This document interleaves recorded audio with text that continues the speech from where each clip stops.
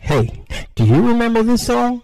What were you doing when this song came out? Well, each and every Thursday night, it's DJ Money Mike live in the Throwback Thursday mix on Supreme Vibes Radio.